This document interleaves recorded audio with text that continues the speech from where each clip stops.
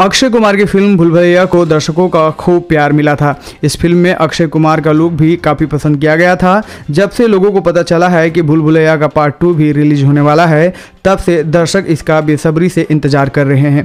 हालाँकि भूल भुलैया टू का एक पोस्टर काफ़ी पहले रिलीज़ कर दिया गया था, जिसमें कार्तिक आर्यन की एक झलक दिखाई दी थी।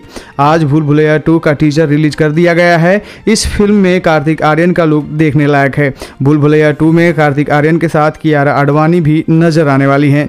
फ़िल्म का टीजर इतना ज़बरदस्त है कि इसे देखने के बाद दर्शकों की रूह काँप गई है। टीजर की शुरुआत फ़िल्म के पॉपुलर गाने आमी जे तुम्हारों से होती है, जिसके बाद एक पुरानी भूतिया टाइप की हवेली दिखाई जाती है। देखते ही देखते सामने एक डरावना सा चेहरा आ जाता है।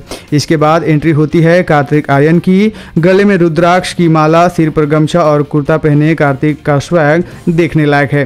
कार्तिक के साथ राजपाल यादव की भी एक झलक दिखाई गई है। टीजर के बाद लोग इस फ़िल्म का बेसब्री से इंतज़ार कर रहे हैं।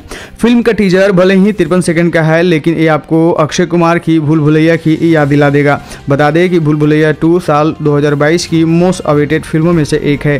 पहले इस फ़िल्म को 2021 में रिलीज़ किया जा रहा था, लेकिन फिर कोरोना का वजह से फ़िल्म को टाल दिया गया। इसके बाद इसको मार्च में रिलीज़ किया जाना था, लेकिन फिर किन्हीं कारणों की वजह से इसे टाल दिया गया। भूल भुलैया टू बीस मई 2022 को रिलीज़ होने वाली है। इस फ़िल्म में कार्तिक आर्यन के अलावा कियारा आडवाणी, राजपाल यादव, संजय मिश्रा और तब्बू भी नज़र आएँगे।